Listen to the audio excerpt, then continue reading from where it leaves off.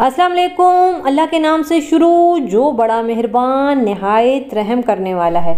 आज हम बनाएँगे हलवा पूरी के साथ मिलने वाले मज़ेदार चने की तरकारी। मेरे पास बहुत ज़्यादा फरमाइश थी कि जो हलवा पूरी के साथ चने दिए जाते हैं, इसकी रेसिपी हमारे साथ शेयर करें। तो चलिए फिर आज हम ये बनाएँगे मज़ेदार चने की तरकारी, जो कि हलवा पूरी के साथ खाई जाती है। तो चलिए फिर रेसिपी को स्टार्ट करते हैं। रेसिपी पसंद आए चैनल को ज़रूर सब्सक्राइब करना है। स्टार्ट करेंगे। बिसमिल्लर रहीम सबसे पहले हाफ़ कप हम पैन में डालेंगे ऑयल। एक मीडियम साइज़ की प्याज है, इसको हमने चॉप करना है। अब प्याज को मैं यहाँ पे इतना फ्राई करूँगी कि प्याज हल्की सी नरम हो जाए। अब देखिए ये प्याज नरम होना स्टार्ट हो गई है। अब मैं इसमें हाफ़ टेबल स्पून लहसुन अदरक का पेस्ट डालूँगी और अब लहसुन अदरक को भी हमने एक से दो सेकेंड मीडियम आँच पे फ्राई करना है। हल्का सा लहसुन अदरक का कच्चापन ख़त्म हो जाए।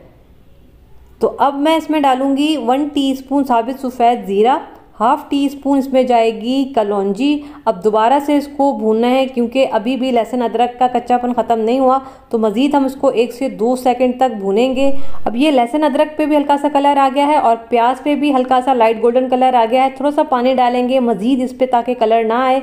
मसाले इसमें क्या क्या जाएँगे? हाफ़ टी स्पून लाल मिर्ची पाउडर हाफ़ टी स्पून मैं इसमें डालूँगी हल्दी, वन टी स्पून पिसा हुआ धनिया जाएगा, हाफ़ टी स्पून कुटी हुई लाल मिर्च इसमें जाएगी और वन टी स्पून इसमें जाएगा नमक। अब मसालों को हमने यहाँ पे बहुत अच्छे भूनना है, एक से दो सेकंड के लिए, ताकि ये मसाले अच्छे भुन जाए, इनका कच्चापन ख़त्म हो जाए। तो ये देखें, अब ये मसाला बेहतरीन भुन चुका है। मीडियम आँच पे मैंने इनको भुना है। जब मसाला अच्छा भुन जाएगा तो मैं इसमें बॉईल किए हुए चने डालूँगी और ये तकरीबन डेढ़ कप मेरे पास बॉईल किए हुए चने हैं। चनों को मैंने रात भर भीगने के लिए रख दिया और फिर सुबह मैंने प्रेशर कुकर में डाल के वन फोर टी नमक डाल के मैंने इनको बॉयल कर लिया। कुछ लोग मीठा सोडा भी डाल के बॉयल करते हैं, लेकिन मैंने मीठा सोडा का यूज़ नहीं किया। अब यहाँ पे एक से दो मिनट हम इस मसाले के साथ चनों को अच्छा भून लेंगे, ताकि ये मसाले के साथ अच्छे भून जाए। दो मिनट के बाद मैं इसमें डालूँगी। ये मेरे पास बॉयल किए हुए आलू हैं। इससे क्या होगा कि हमारी ग्रेवी में गाढ़ापन बड़ा अच्छा आ जाता है। होटल वाले ग्रेवी को थिक करने के लिए या बेसन का इस्तेमाल करते हैं या फिर इसमें मूंग की दाल डालते हैं ताकि ग्रेवी अच्छी थिक बने। मैं इसमें बॉईल किया हुआ आलू डाल रही हूँ। अब देखें मैं इसको भूनती गई हूँ, आलू को तोड़ती गई हूँ और ये अच्छा आलू इसमें मैश हो गया है। अब हम ग्रेवी के लिए दो ग्लास इसमें पानी का डालेंगे। ठीक है, आलू को आपने बहुत अच्छा मैश करना है। अब इसको मिक्स करेंगे, इसमें बॉयल आने देंगे।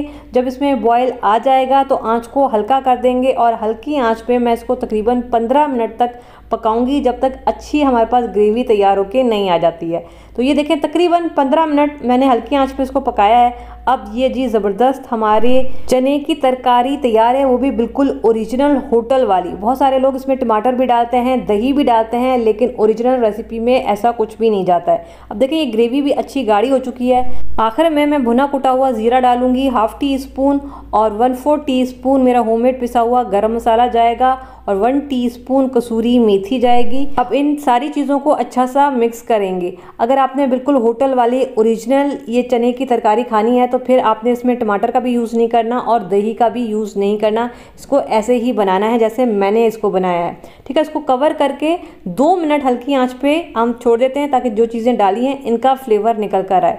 तो दो मिनट के बाद ढक्कन हटाएँगे। बिस्मिल्लाह रहीम और ये देखें जी, मज़ेदार हमारी चने की तरकारी तैयार है, वो भी बिल्कुल होटल जैसी, जो हम मज़े से हलवा पूरी के साथ खाते हैं। ठीक है, अब हम इसको निकालेंगे बाउल में, प्लेट में, जिसमें चाहे निकालना चाहें आप निकाल सकते हैं। गर्मा गर्म हमारी चने की तरकारी जी तैयार होकर आ गई है, ये देखें। ग्रेवी देखें, माशाल्लाह से बिल्कुल गाढ़ी तैयार हुई है, क्योंकि हमने इसमें बॉयल किया हुआ आलू डाला है। तो हलवा पूरी की कंप्लीट रेसिपी आपके पास मौजूद है। हलवे की रेसिपी दे चुकी हूँ, पूरी की रेसिपी दे चुकी हूँ, अचार की रेसिपी भी दे चुकी हूँ और आलू की तरकारी की रेसिपी भी आपके पास मौजूद है। इन सारी चीज़ों की रेसिपी मेरे चैनल पे मौजूद है तो इन सब का लिंक मैं डिस्क्रिप्शन में भी दे दूँगी आई लिंक में भी आएगा और जब वीडियो एंड होगी तो ये एंड में भी ये सारी रेसिपीज़ आपको मिल जाएँगी। तो मैं यहाँ पर ट्राई करूँगी। बिसमिल्ल रहीम आपने ज़रूर बनाना है और मुझे बताइएगा कैसी बनी।